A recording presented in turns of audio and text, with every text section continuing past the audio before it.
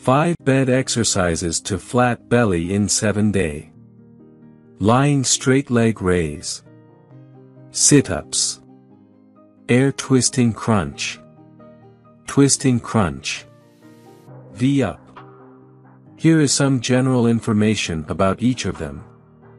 Lying straight leg raise. This exercise involves lying flat on your back and lifting both legs up towards the ceiling while keeping them straight. This movement targets the lower abdominals and can help improve core strength and stability. Sit-ups Sit-ups are a classic exercise that involve lying on your back with your knees bent and feet flat on the ground, and then lifting your upper body towards your knees. This exercise primarily targets the rectus abdominis muscle and can help improve core strength and tone the abdominal muscles.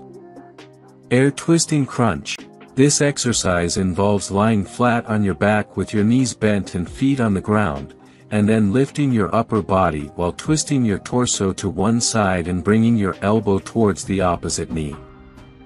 This exercise targets the obliques and can help improve core strength and stability. Twisting crunch, similar to the air twisting crunch, this exercise involves lying flat on your back with your knees bent and feet on the ground, and then lifting your upper body while twisting your torso to one side and bringing your elbow towards the opposite knee. However, instead of keeping your feet on the ground, you lift them up towards your chest. This exercise also targets the obliques and can help improve core strength and stability.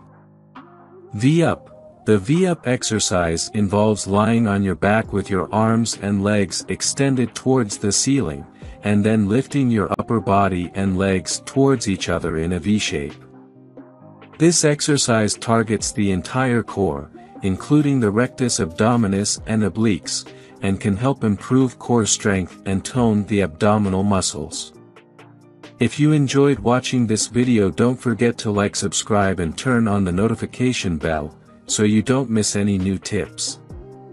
Let us know your thoughts about this video in the comments section down below and feel free to stay safe and enjoy, also make sure to check out our next highlighted video and we will see you next time. Thanks for watching. Please like, share, and subscribe.